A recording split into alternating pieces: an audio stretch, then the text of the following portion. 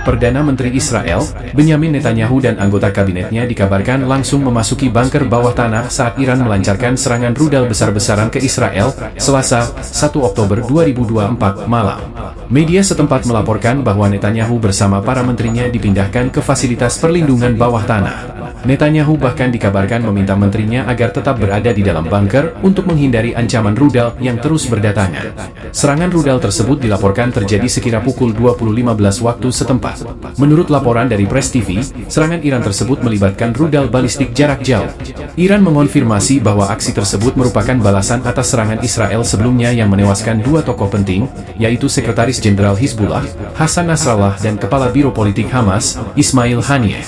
Meskipun telah terjadi serangan besar-besaran, hingga saat ini belum ada laporan resmi mengenai jumlah korban jiwa atau luka-luka di pihak Israel. Namun, pasukan Garda Revolusioner Islam Iran, atau IRGC mengklaim bahwa sebagian besar rudalnya berhasil mengenai target dengan akurasi yang tinggi. Lebih dari 80% rudal IRGC Tempat